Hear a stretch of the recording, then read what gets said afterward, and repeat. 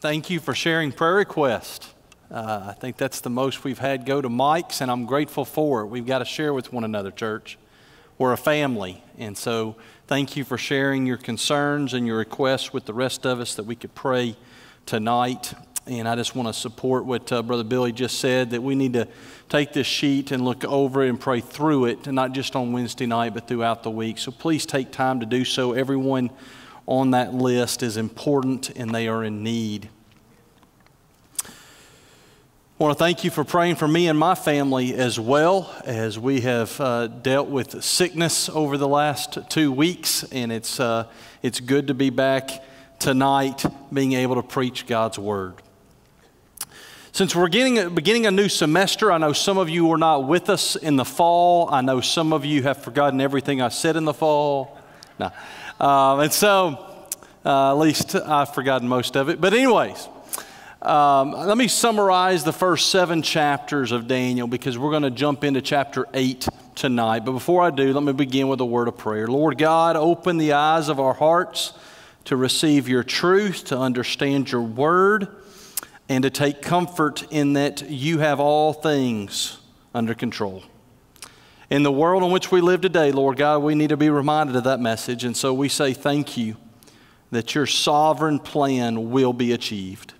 And uh, so teach us through your word tonight. We pray in the name of Jesus. Amen.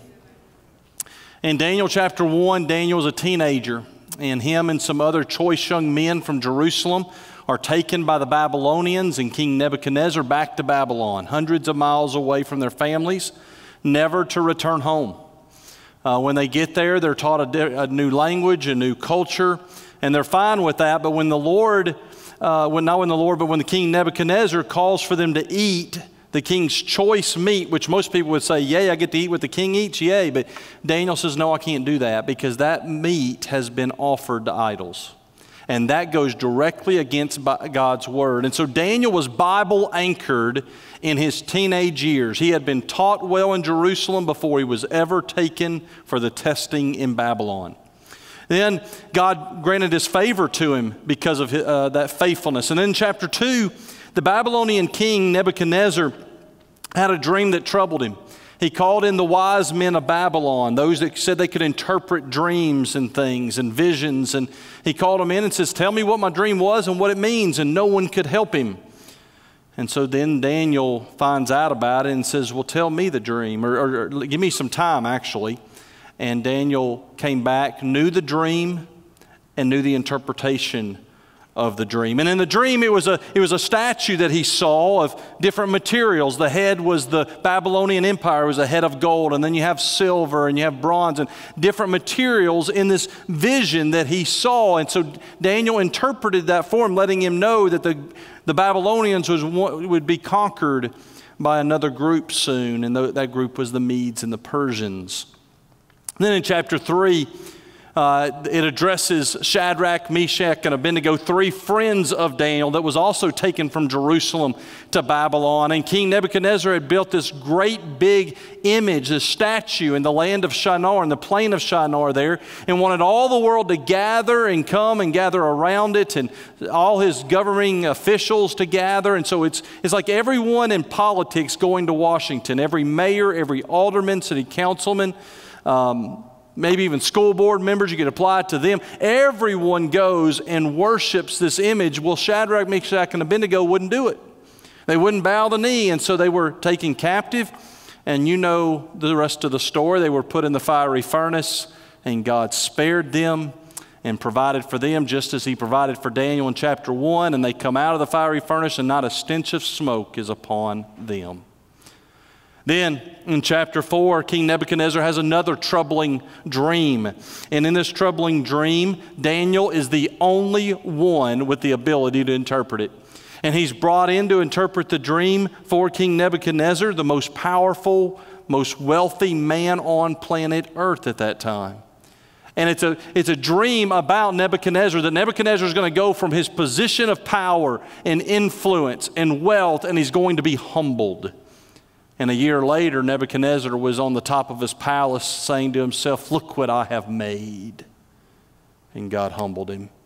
And the vision that he saw a year ago that Daniel interpreted came to pass. For he was made to live like a wild animal, literally on all fours, literally having fingernail, fingernails become claws and his hair growing long. And he lived like a wild animal for seven years. But then at the end of the seven years, God restored his, his mind to him. And he was humble and he sought the Lord and he returned to being king of Babylon as a worshiper of the one true God. I believe it's one of the most amazing stories of God's grace. And I believe he provided salvation for Nebuchadnezzar. I believe Nebuchadnezzar died a worshiper of the one true living God. Then in chapter 5, it jumps ahead multiple years, possibly 25 years, and multiple kings are skipped. And then it mentions King Belshazzar, that's also king of Babylon. Nebuchadnezzar's now been dead for two decades. And Belshazzar is reigning, and He's having this great feast and he's boasting about all that he's accomplished and showing off all of his wealth. In fact, he called for the, the vessels, the drinking vessels from the temple in Jerusalem that he took to be brought in, and they began to be dr- getting themselves drunk using the very vessels of the temple of the living God. And that night he saw a hand appear writing on the wall which is where we get the phrase, the writings on the wall. And it terrified King Belshazzar. So, what does he do? He calls for all his interpreters, all his wise men to come in and tell him, What does it mean? And no one could, except you know who Daniel. And Daniel came in and told him that the kingdom would be taken from him. And that night, while the party was going on, the Medes and the Persians had entered the city and they conquered Babylon, and Belshazzar died that night. Chapter 6 jumps ahead in time too. Daniel went to Babylon as a teenager, but now in chapter 6, he's maybe 85 years old. And he's third ranking in all of Jerusalem, um, not in all of Jerusalem, in all of Babylon. He's the third, top three, right under the king. And he's even got greater favor than the other two. And so everyone's jealous of him. And so they want him out. They're corrupt and they make these side deals. But Daniel's an upright man of integrity, doesn't do any of that. And so they want to remove him. And so they go to the king and they flatter him and say, Hey, king, why don't you issue an edict for 30 days that no one can pray to any God except you? Now, why 30 days? Why not forever? Well, 30 days because that's enough to get Daniel. Daniel would not stop praying to the one true God. So the king, the king asked, Do all the wise men, all my, all my prefects, all my high ranking officials, do they agree to this? And, and they said, Yes. Well, that's not true. Daniel had not agreed to it. So Daniel began, kept praying, and they, they arrested him for praying to his God, the one true God. You know the rest of the story. He was taken. The king now knows he's been tricked. He tries to get save Daniel, but he can't because it's an edict that cannot even be uh, revoked by the king. And so Daniel's thrown into the lion's den. Become the next morning, the king goes to the den and says, uh, Daniel, has your God delivered you? And he said, Oh, yes. Yes, he has. And Daniel comes out, and those that misled the king were thrown in, and they didn't make it out. They perished there with the lions. Now, chapter 7, which we studied to end last semester, chapter 7 was a, is a very difficult uh, vision dream. And in chapter 7, it backs up in time okay? If we were studying this chronologically, we would be studying chapters 7 and 8 before chapters 5 and 6, okay? It backs up in time because chapter 7 is a vision Daniel sees. And chapter 8 that we'll study tonight is also a vision that Daniel sees. And so he needs someone else to interpret those for him. And so in chapter 7, he sees this, this vision and it's about the, the four kingdoms that Nebuchadnezzar saw in his dream in chapter 2. It's about the Babylonian Empire, then being conquered by the Mede and Persian Empire, which is then conquered by the Greeks, and the Greeks were then conquered by the Romans. But in chapter 7, it also talks about this little horn, which we believe is the Antichrist that will come on the scene in the end. So it talks about what's happened in history, but also what we believe is still future for us. Now we arrive at Daniel chapter 8. If you haven't turned there yet, turn there with me now, please. Daniel chapter 8. And please fasten your seatbelts because I've got 32 minutes to cover what I could say in 62. All right? It's a lot of stuff, and it's very hard to divide this chapter. Uh, I would spend 15 minutes summarizing the message next week to start. So we're going to try to cover it in one night, the entire chapter of chapter 8. All right? In this vision, it's addressing two of those four empires the, the Medes and the Persians, and then the Greeks. And then we're going to study about the little horn as well. All right? So the title of the message is The Ram, the Goat, and the Little Horn. The Ram, the Goat, and the Little Horn. So, hope you have your thinking caps on. You're going to need them tonight. All right, here we go. We can do it one bite at a time, right? All right, we're going to go through the text as we as we go through the message. Okay, they're going to be, I'm going to be sharing the scriptures from throughout the chapter as we work it, work our way through it. So let's start with number one, the setting, and the outline is on the back of the prayer sheet for you. If you haven't noticed that, if you turn the prayer sheet over, you'll find the outline for tonight. Number one, the setting in verses one and two. In the third year, of the reign of Belshazzar. So again, we back up now to the time where the Babylonian king is in power. Belshazzar the king, a vision appeared to me, Daniel, subsequent to the one which appeared to me previously. So the third year of the reign of Belshazzar, we believe, is 550 BC. Okay, so uh, Daniel has been in Babylon for 60, uh, uh, let's see, 55 years. Uh, he's approximately 70 years old at the time of this vision. Verse 2 And I looked in the vision, and while I was looking, I was in the citadel of Susa, which is in the province of Elam. And I looked in the vision, and I myself was beside Ulai Canal. Now, where's the citadel of Susa? Does anybody remember anything I, I taught from Esther last spring? All right. All of that took place in the city of Susa. And that book starts in 483 BC. Okay, so that book is 60, 70, 80, 90 years of, of what took place after this in 550 BC. Okay, uh, but that, the story of Esther's in Susa because the Persians are the empire at that time. All right, so Daniel's seeing this vision, and he's either there in person or in the vision, he simply is taken there.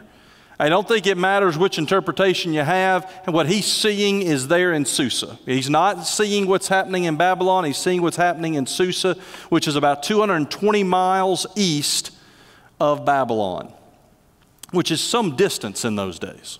All right?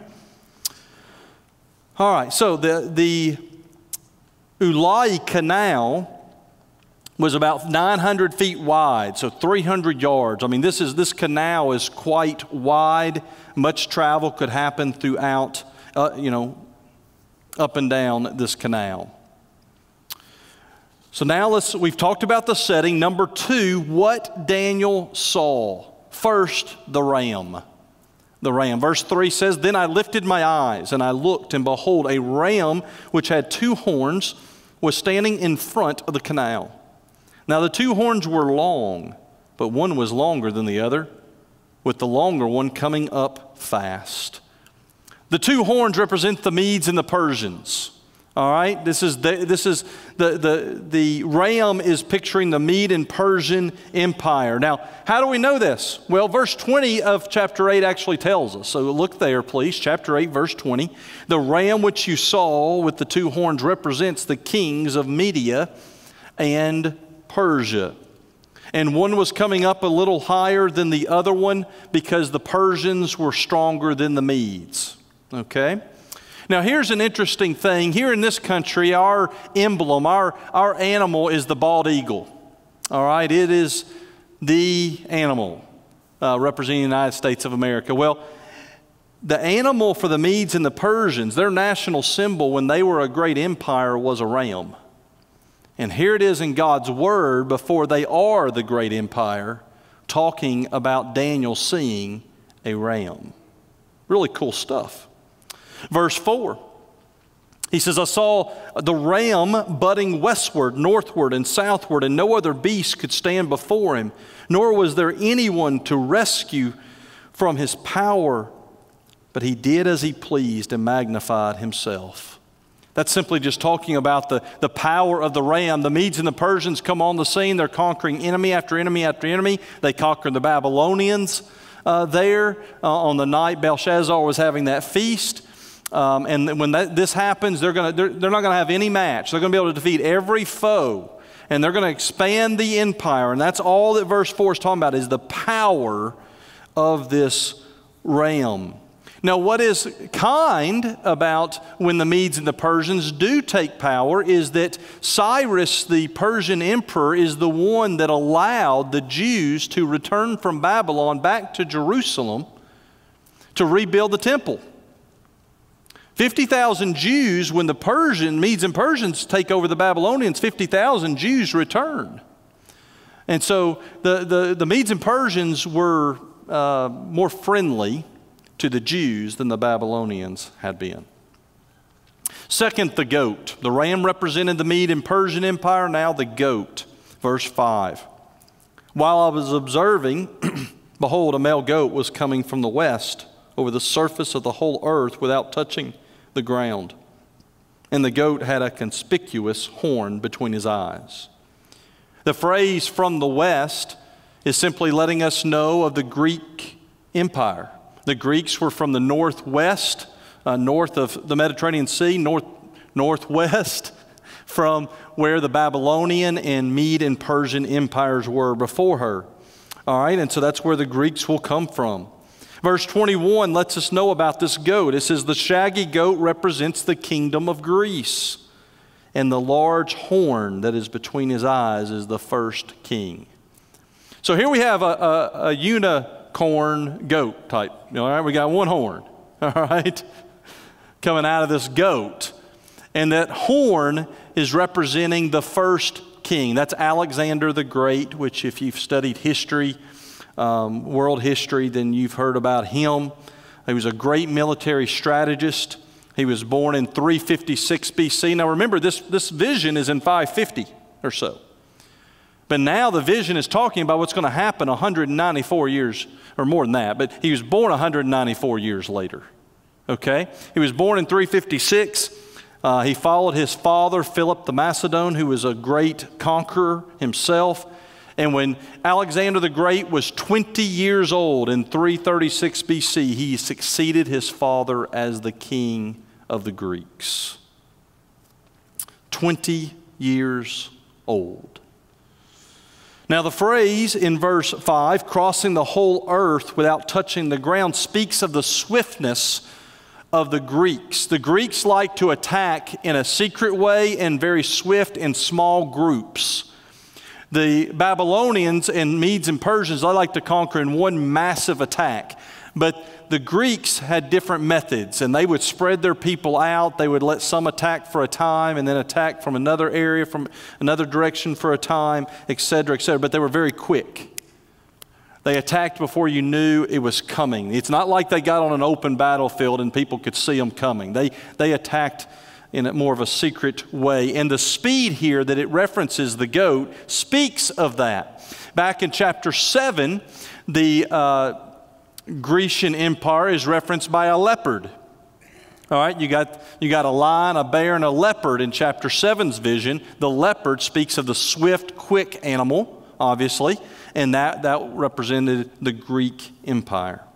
So we see chapter 7, chapter 8 saying the same thing not only about who they are, but how they fought. And it came to pass that way. Now, verse 6 He, the goat, came up to the ram. So now we've got the goat, the Greeks, and the ram, the Medes and Persians, that had two horns. And it says, Which I had been standing in front of the canal and rushed at him in his mighty wrath. The goat is now rushing at the ram and he will defeat the ram. Why? Because in human history, the Greeks go on to defeat the Medes and the Persians. What God is telling Daniel in this vision came to pass just as the Lord prophesied. We can trust God's word. And again, verse 20 and 21 lets us know who these empires are talking about the Medes and the Persians and the Greeks. It tells us So there's no debating that portion of it. So, for 150 years, the Medes and Persians were in power. Many times they would try to conquer Greece. I remember teaching from the book of Esther, and uh, her husband, the, or before she was married to him, but anyways, the, the king at the beginning of the book of Esther, he had tried to go into Greece and conquer it, and he had failed. All right, and so the Medes and Persians had been trying to conquer the Greeks for many, many years. And when we get into 300s, Alexander the Great knows this, and he takes care of the Medes and the Persians. And the Greeks become the world power. Look with me in verse 7. Daniel says, I saw him come beside the ram, and he was enraged at him, and he struck the ram and shattered his two horns, and the ram who had no strength to withstand him. So he hurled him to the ground and trampled on him, and there was none to rescue the ram from his power. And all that means is the Greeks conquered the Medes and Persians. Okay? The Medes and Persians could not stand up to them. So, 18 months after Alexander the Great became king, of the Greeks, he attacked and conquered the Medes and Persians. Within three years, they were completely the world power. He had conquered all of the Medes and Persians in every location. And they had dominance from Greece, north of the Mediterranean Sea, on, on around it, uh, the Mediterranean Sea, down to Egypt, and way to the east to India. All of that was under the rule of the young leader, Alexander the Great. Verse 8 then the male goat magnified himself exceedingly. The male goat here, again, the Greeks and specifically Alexander. But as soon as he was mighty, the large horn was broken, the large horn speaking of the king. And its place there came up four conspicuous horns toward the four winds of heaven. Here's something true about Alexander the Great. He died at the age of 32. 20, he becomes king. Within three years, he has totally dominated the Medes and Persians. The Greeks are now the world power. He's expanded their influence, their land, their wealth, all of that. And within 10 years later of his life, with all of that power, he is dead. It is guessed that he died from malaria, but he came down with a terrible fever and never recovered. What's that teach us? The most powerful, wealthiest, human being on planet Earth cannot escape the time when it is for them to go. It doesn't matter how much money you have, it doesn't matter what your age is. It doesn't matter what influence you have, it doesn't matter what how great you think you are. You are at the mercy of the Lord. And Alexander the Great made it 32 years. He left two sons. Guess what happened to them? They died.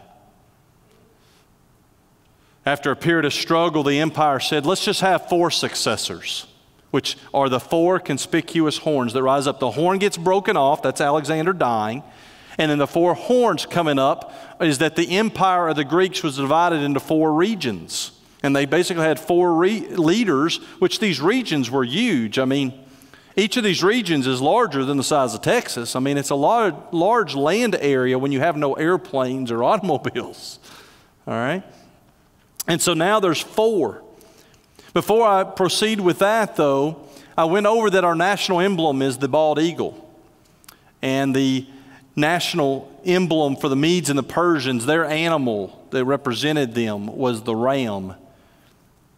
It doesn't take long to figure out that the Greeks their animal was the goat. Literally, in human history, outside of the Bible, if you study what is the national emblem animal for the Greeks, they're going to show you a goat. And that's exactly what was prophesied, the animal that was prophesied to Daniel in 550 BC. Now let's talk about third, the little horn. Verse 8 ends with four horns coming up from the male goat. Okay, so now verse 9 out of one came forth a rather small horn, which grew exceedingly great toward the south, toward the east, and toward the beautiful land. After Alexander died, they divided the empire into four horns. Now, to fill in what this little horn means, we have to really, we go to what most scholars do is they go to human history and they fit in who would have been this little horn that fulfilled what it describes of this little horn. And what scholars come up with is Antiochus IV Epiphanes that lived and reigned from 175 to 163 BC. So now we jump basically 175 years after Alexander the Great, 150 years after he reigned. And here comes this man, Antiochus. Antiochus purchased his position of authority, he intimidated people, he bought people off in order to become king. He gave himself the name Epiphanes. This is all under his arrogance in your outline here. All right? He, he gave himself the name. Epiphanes means illustrious. Antiochus, the illustrious. The man wasn't lacking for confidence, all right? Next, I want you to see his contempt. Look in verse 9. It says, Out of one of them came forth a rather small horn, which grew exceedingly great toward the south, toward the east, toward the beautiful land. So, again, this is one of the four horns, but the beautiful land, I believe, is a reference to Israel a reference to Palestine, a reference to the promised land. And so Antiochus, he had authority over that portion, and so he fits with that description. Next, let's look at his impact. Verse 10 It, the little horn, grew up to the host of heaven and caused some of the host and some of the stars to fall to the earth, and it trampled them down. This horn became very powerful, very influential. Remember, Daniel's seeing a vision four horns on this goat, and then this little horn springs up, and now it springs all the way into heaven, and stars start falling, okay? It's, it's a dream, it's a vision. And we believe that those stars falling is this horn piercing people's lives, and Jews actually were dying and being severely persecuted. Antiochus' persecution of the Jews began in 171 BC when he had the high priest at the temple assassinated. In 168, three years later, he had 20,000 men to level the city of Jerusalem. They entered the city on the Sabbath of all days murdered most of the Jewish men and took most of the women and children as slaves. The remaining men ran to the Jewish military leader named Judas Maccabeus. Now, verse 11. It even magnified itself to be equal with the commander of hosts. This little horn that springs up, this, this military leader, this commander, this one that's reigning over a fourth of the Grecian Empire, makes himself equal with God, the commander of hosts. And it's believed that Antiochus went into the temple and declared himself to be God in the Jewish temple. Whether that's true or not, I cannot be for sure. What we do know is he hated Judaism and he wanted all Jews not to worship the one true God, but to worship him. In the second part of verse 11, it says, He, and it, being the horn, removed the regular sacrifice from him, and the place of his sanctuary was thrown down. He had the temple severely damaged and destroyed. He removed the, the sacrificial system that was taking place in the 200s BC and leading up to 170 BC.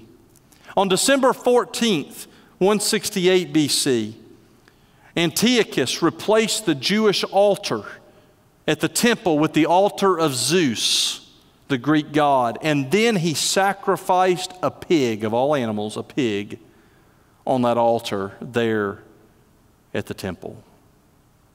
He hated the Jews. Let's look at verse 12. And on account of transgression, the host will be given over the horn, along with the regular sacrifice, and it will fling truth to the ground and perform its will and prosper. What this vision is God's revealing to Daniel in this vision is there's going to come a day when this, this horn here will get his way. He's going to have his way. Those that oppose him will suffer. They will die. He will win. God's letting them know the future. It's going to happen this way. And it did happen that way. for many Jews were slaughtered. Verses 13 and 14. How long will the vision about the regular sacrifice apply? While the transgression causes horror, so as to allow both the holy place and the host to be trampled, he said to me, For 2,300 evenings and mornings, then the holy place will be properly restored. Great suffering would come upon the Jews. And 2,300 here is debated. Some say it's 2,300 evenings and mornings, so you split the number in half to know how many total days. If you split it in half, it's basically three years. You leave it at 2,300, then it's basically six years. Both of those times fit with Antiochus Epiphanes. Because if he started with the assassination of the high priest and went from then on, then it took six years of suffering upon the Jews. If he went to the start of the temple when he destroyed the temple, then it would be three years of great suffering upon the Jews. Either way, either way you interpret it, it fits with Antiochus. Now let's look at verses 15 through 19. Everybody kind of move around a little bit, okay? It's like the last five minutes of class and the lecture has gone on for a long time. All right? We got, we got 11 minutes. I'm, I'm doing great on time. I hope you're still with me here. Uh, there's a lot of suffering and death, and okay, but we're going to get there. I mean, that's, this is God's word, it's profitable for teaching, for correction, for reproof, and training in righteousness, right? All right, verse 15. When I, Daniel, had seen the vision, I sought to understand it, and behold, standing before me was one who looked like a man. And I heard the voice of a man between the banks of Ulai.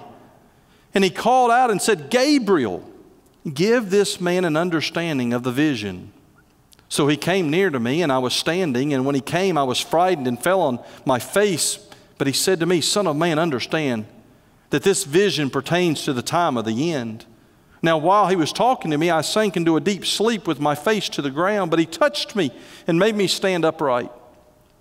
He said, Behold, I am going to let you know what will occur at the final period of the indignation, for it pertains to the appointed time of the end.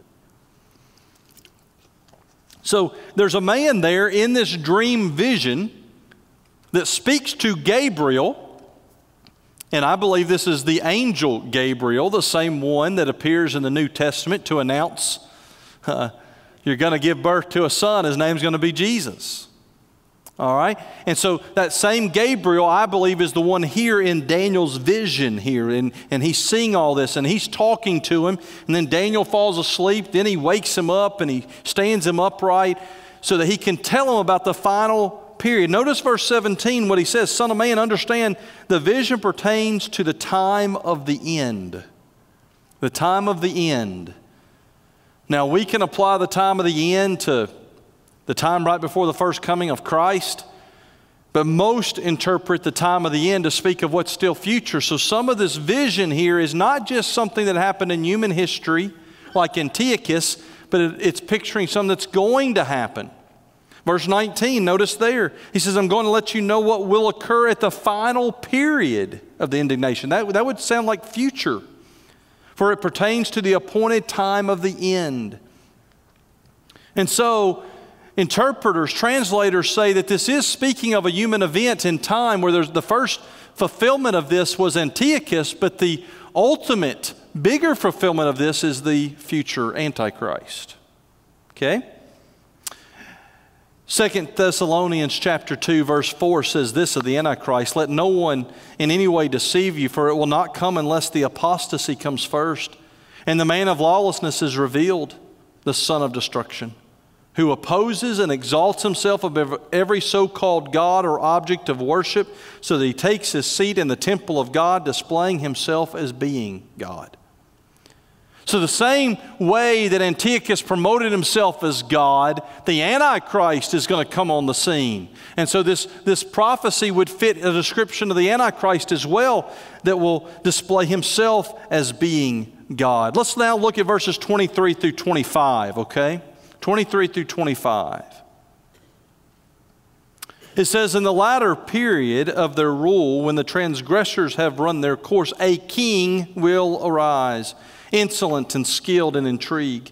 His power will be mighty, but not by his own power, and he will destroy an to an extraordinary degree, and prosper and perform his will. And he will destroy mighty men and, the holy people. And through his shrewdness, he will cause deceit to succeed by his influence and he will magnify himself in the heart in his heart and he will destroy many while they are at ease he will even oppose the prince of princesses most scholars believe verses 23 through 25 is talking about the antichrist okay He's the one that has power that's extraordinary. He's going he's going to destroy to an extraordinary degree. He's going to prosper and perform his will for a season. He's going to he's to cause deceit and he's going to succeed with his influence. He's going to magnify himself. All those things fit the Antichrist. Now let's go to number four the conclusion of this little horn. Who, again, the little horn, the first fulfillment is Antiochus, and I have no trouble agreeing um, and speculating that the little horn's ultimate fulfillment is the Antichrist here. So his conclusion, verse 25, the end of it, it says, He will be broken without human agency. See, we know he's going to have great influence. Many people are going to suffer, be persecuted, and even see death that occurred at the time of Antiochus. Uh, it's also going to occur when the Antichrist is on the scene. He's going to do great damage for three years to the people of Israel, we know, and really to all who oppose him. But then there's going to come a time when he's broken. He's going to get his due. He's going to reap what he sowed, has sown. Now let's first apply verse 25 to Antiochus. Okay? He was also broken beyond any human agency. You have to read some about it in the, in the book of Maccabees. The book of Maccabees, there's two of them. It's in the Old Testament Apocrypha. So it's not in God's Word, it's not officially God's Word, but it does record human history all right? And it tells what a lot of what happened in those silent years between Malachi in the 400s BC and the start of the New Testament. And here we're talking about history that took place uh, around what 175 to 160 BC. So that fits the time of Judas Maccabeus. He was the leader. And uh, we believe, I don't know if he's the writer of the Maccabees or not. And quite honestly, I want to make it clear I have not read the book of Maccabees. But that records the Jewish fighting where they are standing up for themselves. And when it comes to Antiochus, he died when Judas Maccabeus and his men came to liberate uh, Jerusalem from Antiochus. Antiochus came down with abdominal pain, severe and he died. He fell out of his chariot and he died from the fall. And they said worms had eaten his insides. On December 14th, 165 BC, Jerusalem was delivered from Antiochus Epiphanes by Judas Maccabeus and his followers. The temple worship and sacrificial system was restored. Jewish people were able to go to the temple and pray. And today, the Jews celebrate December 14th for a reason. It's called Hanukkah, it's called the Feast of Lights. It is the day that Judas Maccabeus led the, the Jewish leaders into Jerusalem and took back the temple area and freedom for Jews to, to uh, worship. And so they celebrate that even to this day. So Antiochus came to his end. He was a painful end and a quick end.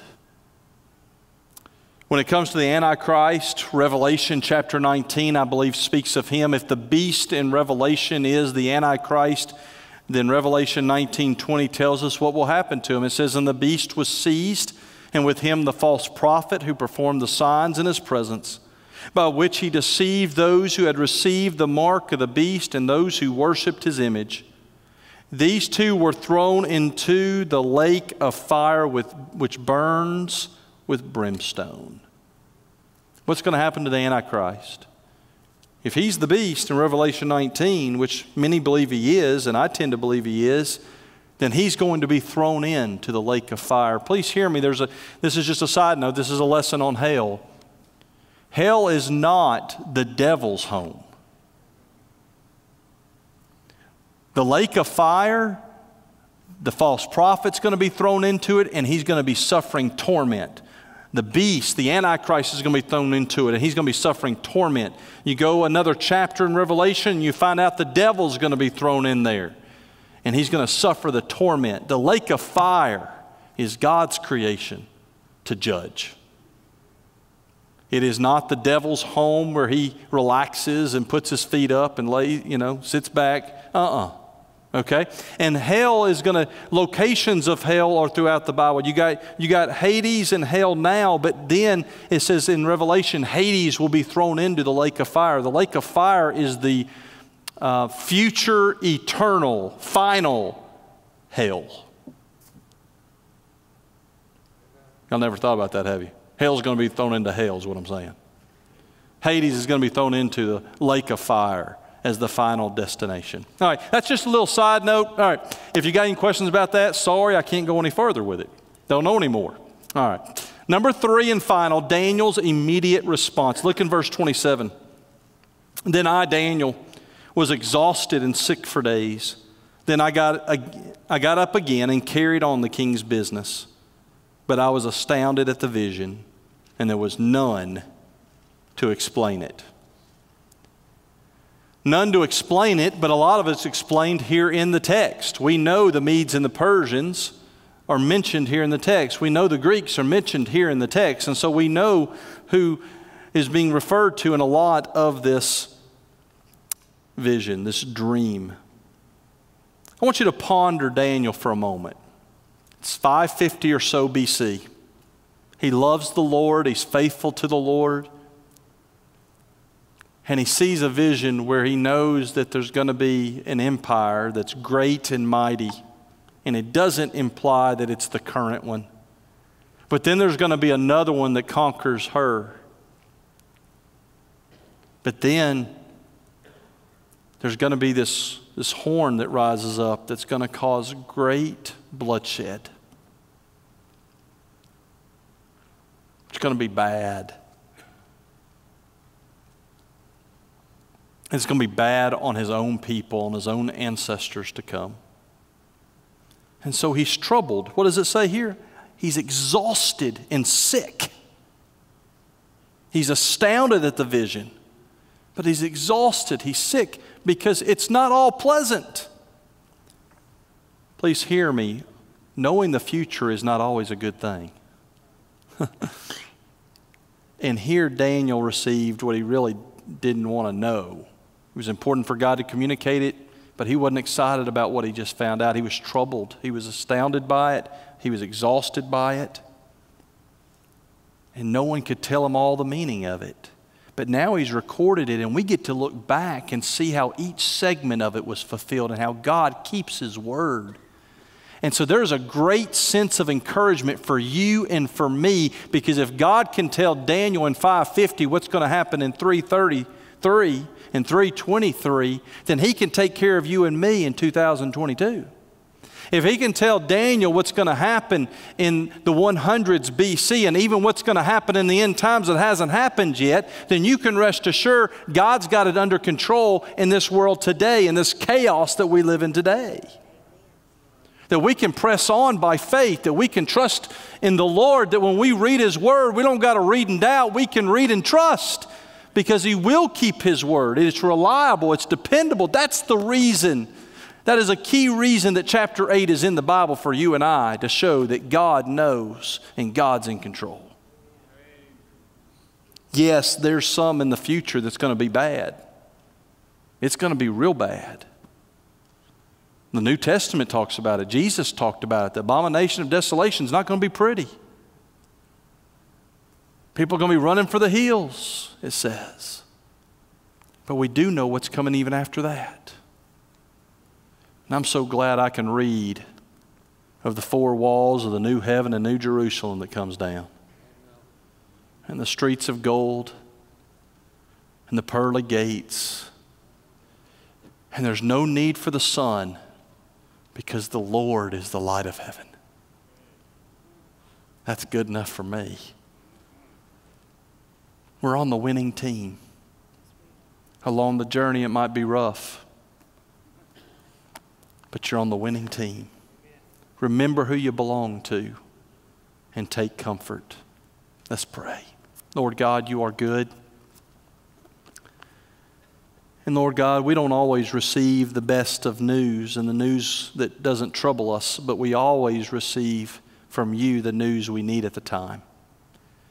So, Lord God, I thank you for your word. I thank you for Daniel chapter 8 and what you showed to Daniel through that vision and what you have now fulfilled throughout human history. I thank you, Lord God, that you've given us understanding of your word and that you have shown us that your word is reliable. Lord God, help us to be steadfast. Help us to love others. Help us to love you and to love the lost and to live for you, to shine for you, and to be steadfast in the faith in spite of the circumstances and challenges around us. Strengthen us, O Lord, to be used by you and to bring honor to you. We pray this all in the name of Jesus. Amen.